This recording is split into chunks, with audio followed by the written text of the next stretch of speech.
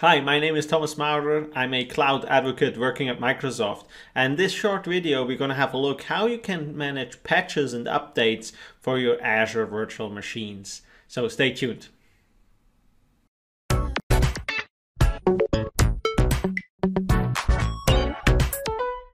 In your Azure Automation account, under Update Management, you can view the update assessment for your Azure virtual machines.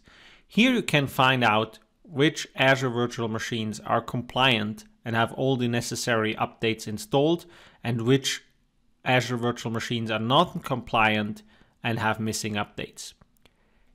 You can also list all the missing updates.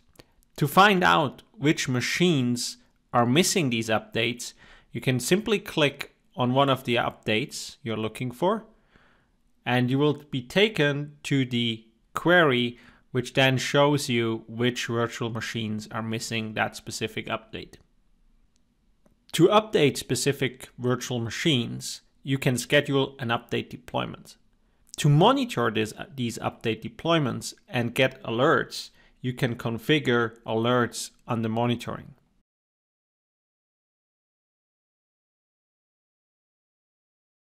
Here you can create a new alert rule for your automation account. You can set a specific condition where you already have predefined signal names. For that, you can, for example, say you want to get the total update deployment machine runs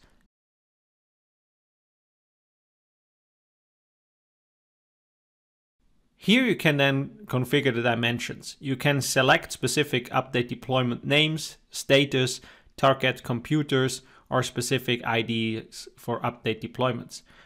In our case, we want to get alerts for all of them.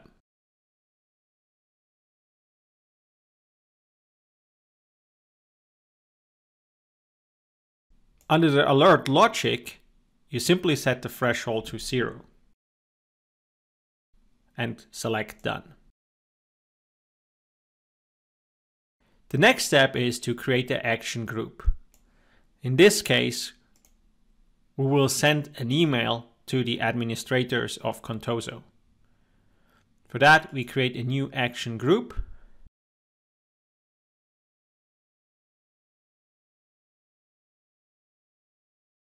Give that action group a name. Define a short name and create an action. Under action type, we can then select what action we actually want to create. In our case, we want to send an email to the administrators. For that, we open it up, select email, and enter the email address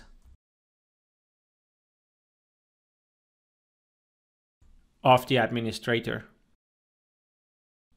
We can now select OK. And save that action group. Now we can add some additional information uh, which will show up in the specific email. Here we can then simply set an alert name and a description and create the rule.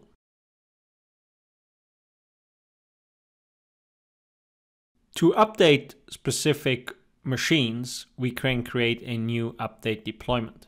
For that, we are selecting update deployment. We give that update deployment a name.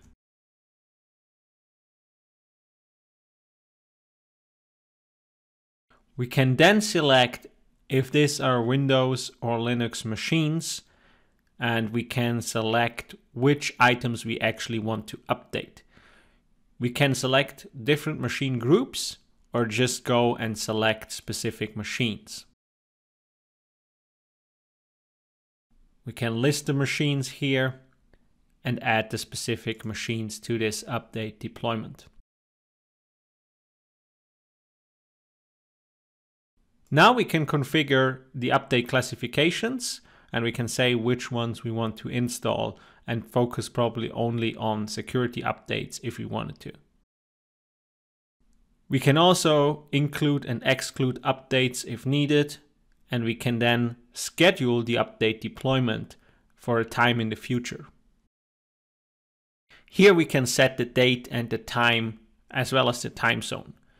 If we wanted to, we can also create a recurring update deployment which runs every week or every month. For now, we're just going to simply create a single update deployment.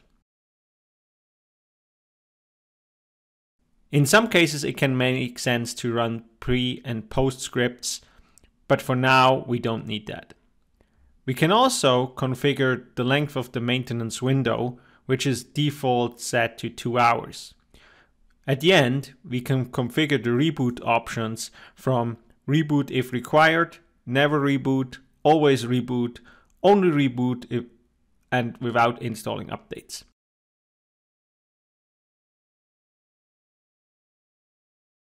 Let's create that update deployment. Now, under update deployment schedule, you will be able to see the specific update deployment we just created. After the update deployment has completed, you can find it under history. You will see that this update deployment succeeded and if we click on it we can find some more information. We can see that our two Azure machines were updated and we installed a total of six different updates. If we go back to our update management and click on machines, we will see that our both of our machines are now compliant and have all the latest security updates installed. Thank you for watching this video. I hope you enjoyed it. If you did, hit the like button and don't forget to subscribe to my YouTube channel. Thank you very much.